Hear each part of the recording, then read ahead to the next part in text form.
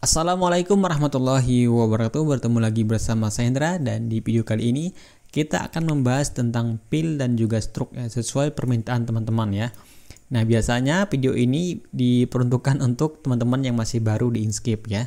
Kita akan tidak kita tidak akan membahas secara lengkap ya. Tapi kita akan membahas uh, yang sering digunakan dan juga yang mungkin teman-teman butuhkan. Karena kalau kita bahas semuanya nanti teman-teman malah bingung ya. Nah, di sini kita akan coba dulu ya. Langsung saja kita ke video tutorialnya. Saya akan membuat beberapa objek di sini menggunakan rectangle tool ya. Kita drag ke sini. Oke. Nah, yang berwarna biru laut ini namanya pil, kemudian yang hitam ini namanya stroke. Kalau di Corel Draw namanya outline kalau nggak salah. Kalau di Photoshop namanya sama juga stroke ya. Kalau kita nampilkan ini, maka kita klik layarnya layar di Photoshop itu klik kanan lalu kita cari blending option dan juga ada stroke-nya. Oke, lanjut ya. Nah, untuk mengubah pil ini ya seperti biasa mungkin teman-teman juga sudah bisa semuanya. Tinggal kita kasih ya, kita klik beberapa warna yang kita inginkan. Misalnya warna orange ya, warna pink, warna kuning, warna hijau dan sebagainya ya. Lalu di sini ya, eh, kita pergi ke bagian edit object ya. Nah, kalau teman-teman tidak menemukan menu seperti ini, tinggal pilih view lalu kita pilih bagian custom ya. Maka tampilan kita akan sama ya. Lalu kita klik di bagian gambar ini ya, bagian komembernya yaitu ada gambar kotak yang melintang gambar brusnya kita klik maka akan muncul settingan ini ya. Nah, di sini ada tiga bagian teman-teman yang akan kita bahas yaitu fill, stroke dan juga style stroke-nya. Nah, bagian fill ini adalah untuk mengubah warnanya. Selain kita memilih warna yang ada di bagian bawah ya, kita juga bisa mengubah warna dengan beberapa metode yaitu bagian uh, eh, RGB, HSL, HSV, CMYK, WEL dan juga CMS. Nah, untuk teman-teman ya mungkin seperti apa sih Bang ya? Baik uh, apakah pakai RGB, HSL, HSV dan sebagainya. Ini sebenarnya tergantung kebiasaan teman-teman ya. Secara umum ya settingannya sama ya. Kalau RGB tinggal kita geser-geser seperti ini ya. Ya. Nah, kalau saya pribadi saya langsung menggunakan HSL ya. Di sini ada hue-nya ya. Karena nampak warnanya langsung di sini teman-teman. Warna merah, kuning, biru, hijau dan seperti ini ya. Atau teman-teman juga bisa HSV, CMYK dan juga sebagainya. Nah, kalau di Affinity Designer mungkin teman-teman terbiasa dengan Well ya ataupun uh, di apa namanya Adobe Illustrator ya dan sebagainya. Tinggal teman-teman pilih saja sesuai dengan selera ya. Nah, lalu kemudian ya di bagian sebelah kanan ini ada namanya gradient. Nah, gradient ini kalau bahasa Indonesia yaitu gradasi, kita klik maka akan muncul tampilan seperti ini. Nah, untuk mengeditnya bagaimana ya? Teman-teman bisa pergi ke bagian gambar ini ya, gambar pensil seperti ini, maka akan muncul garis tengah ya dengan dua titik, satu kotak, satu titik ya seperti ini. Atau juga teman-teman e, bisa ya untuk mengedit warna ini pergi ke bagian menu ya, lalu kita pilih gradient. Maka akan muncul garis yang sama seperti tadi ya. Nah, kita kalau kita lihat ya, sebelah kanan ini warnanya transparan ya. Tuh, terlihat stroke-nya ya. Kita klik bagian ini ya, bagian bulatnya ini kita klik. Lalu kita tinggal ya, kita pilih ya. Misal di sini saya menggunakan HSL. Nah, tinggal kita kasih warna, misal warnanya warna pink ya lalu kita naikkan bagian opacity-nya ya. Biar warnanya solid teman-teman ya. Kalau misalnya kalau kita warnanya kita mundurin maka dia akan transparan ya.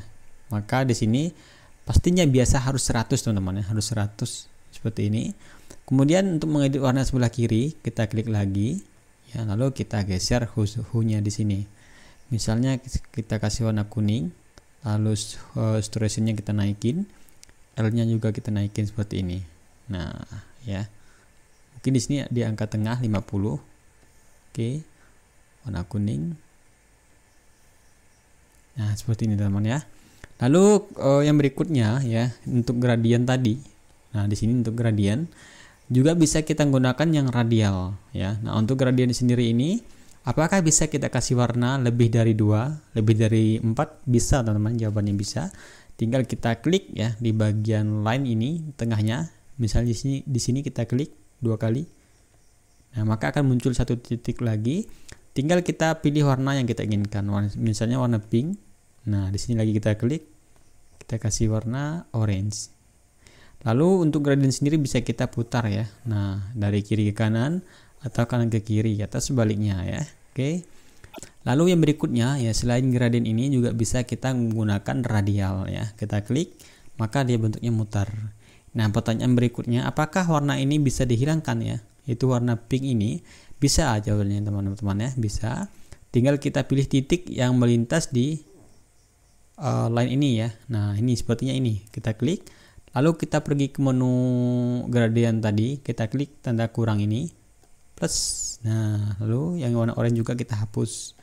Maka tersisa dua warna. Ini kita ubah warna lagi, ya biar enak. Kita ubah warnanya pink. Ini kasih warna biru. Oke, warna kekinian. nah, ini juga bisa kita setting-setting teman ya. Nah, silakan teman-teman praktekkan sendiri ya. Oke, seperti ini. Nah, lalu yang menu ini juga ini bisa kita manfaatkan ya. Cuman terlalu panjang nanti videonya. Uh, kita pelan-pelan saja ya. Mungkin insya Allah di pertemuan berikutnya akan kita bahas. Ini ada mesh, ada Phaeton, ada swatch dan sebagainya. Lalu kemudian kita akan pindah ke bagian stroke-nya ya. Nah, stroke ini juga penting ya. Penting sekali untuk teman-teman pelajari. Pertama kita pergi ke bagian stroke fine. Nah, stroke fine ini adalah untuk pewarnaan dari stroke ini sendiri ini kan warna hitam ya bisa kita ubah warnanya sini ya nah misalnya kita ubahnya warna merah ya warna kuning dan sebagainya kemudian pastikan di bagian opacity-nya di angka 100 ya nah apakah kita bisa mengubah warna uh, stroke ini lewat panel ini bisa teman-teman ya syaratnya tekan shift ya lalu kita pilih warnanya seperti ini Nah, kalau misalnya teman-teman tidak tekan shift ya, maka dia akan yang berubah adalah feel-nya. Contohnya di sini saya tidak menekan shift ya, kita ganti warna kuning. Tuh, malah warna ya, pilnya yang berubah. Kita unduh dulu Ctrl Z. Sekarang kita tekan shift, kita pilih warna kuning. Maka yang berubah adalah stoknya ya, seperti ini. Nah, kemudian settingan ini juga sama ya, kita akan memberikan warna stroke ini ya secara gradient juga bisa ya, seperti ini. Maka stroke-nya menjadi gradient ya, gradient ya, lalu kita putar seperti ini.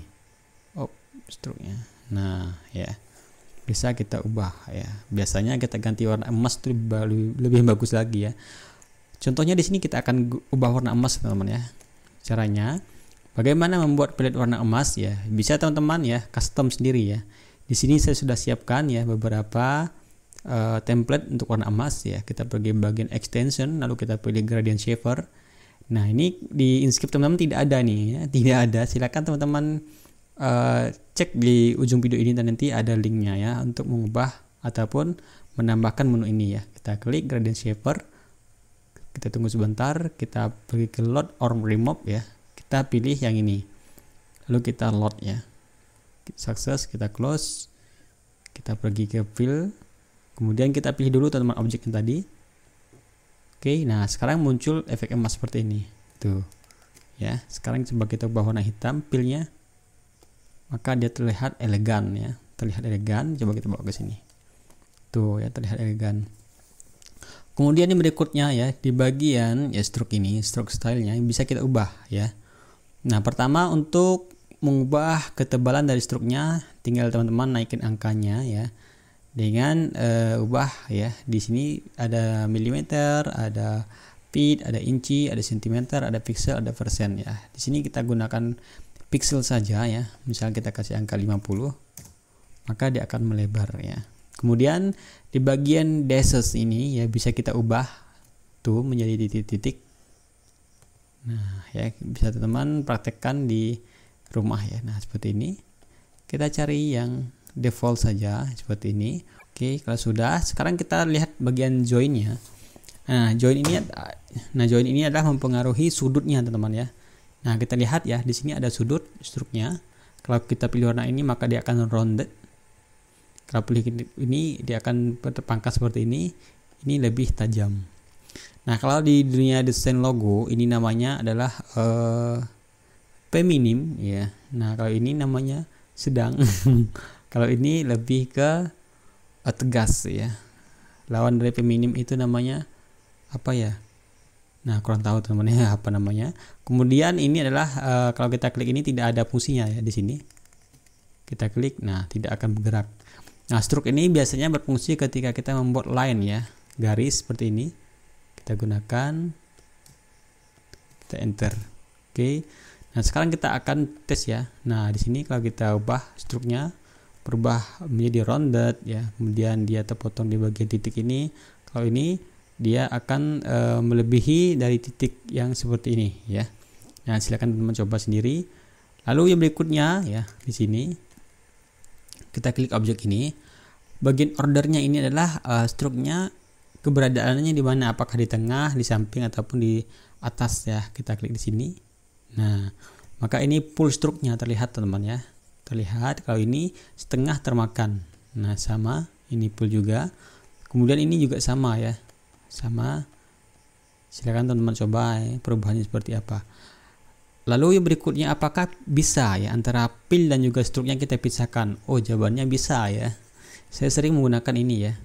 Nah contohnya kalau kita tidak gunakan kita tidak pisahkan antara struk dan juga filnya maka nanti kalau kita potong struknya mengikut dengan yang dengan yang kita potong. Nah, contohnya kita akan potong menggunakan lingkaran di sini. Oke, tekan shift kita potong menggunakan part lalu kita different. Maka struk ini mengikut ya potongannya. Nah, caranya kita unduh dulu. Kita unduh. Oke. Ini kita akan pisahkan antara stroke dan juga fill-nya dengan cara pergi ke path lalu kita pilih stroke to path ya. Nah, di sini kalau kita lihat sekilas maka tidak bisa dipisahkan. Caranya kita ungroup saja di sini. Nah, maka dia akan berpisah stroke dan juga fill-nya. Oke. Nah, sekarang kita akan coba ya potong ya. Potong di sini kita klik filenya ini maka yang terpotong hanya pilnya teman-teman ya tuh ya hanya pil yangnya terpotong kita bawa ke belakang seperti ini oke kita unduh dulu Baiklah teman-teman ya, mungkin sampai di sini dulu video pendek ini. Semoga bermanfaat dan saya Hendra mengucapkan wassalamualaikum warahmatullahi wabarakatuh.